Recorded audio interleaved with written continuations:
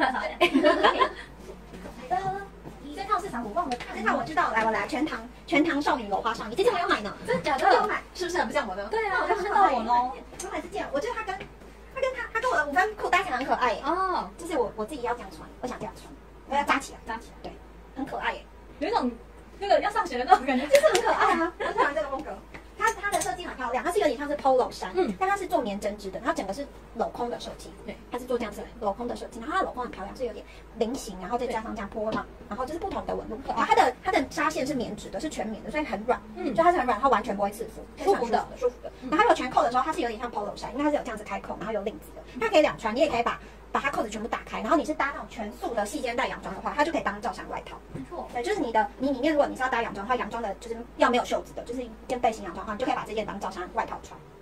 然后我觉得它细节就还蛮漂亮的，因为一般 polo 衫啊，或是这种带领子的上衣都不会做这种雕花的设计。对，它的雕花是真的很细，而且很软，嗯，就是布料是不会刺肤的。没错。嗯然后两个颜色，一个是粉紫色，它的粉紫是真的淡淡的、很淡淡的粉色，对。然后另外一个是就是基本白色这样，如果大家搭洋装的话，白色当然比较好搭啦。嗯，就是把领子翻出来这样子。没错没错，就是看你了。如果你是那种上个月上次新品有买爱丽丝那一件的话，你就也可以搭在外面，它把领子翻出来，它是不一样。而且我觉得它又可以当外套，所以个人觉得这件实搭性蛮实搭的。嗯，然后它的洞洞部分的话，我自己是觉得我可以单穿，我觉得不不到会太夸张欸，因为它的洞真的蛮小的对啊，嗯，如果是一点点都不能现在穿穿灰色，我觉得还好，看不出来对，不太明显。嗯嗯就是看你的接受度。不然我是觉得它单穿就可以。然后下半身裤子的话，张真现在是配呃一条厚松紧跟或丹宁宽裤，分 S、M、L 三个尺寸，然后张真现在是穿 L 号。没错，对，然后它的它的版型的话就是做后松后腰松紧，它就只有后腰有松紧，这个地方是松紧的这样子，然后前面是正常的，前面是正常的裤子。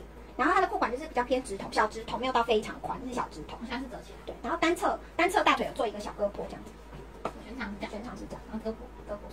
然后它裤呃布料是软料，诶，是软料吗？挺度也没有到很软算，算偏软，但是没有到很薄的。差不多是对垂，对，大概是这样，对，大概是这样。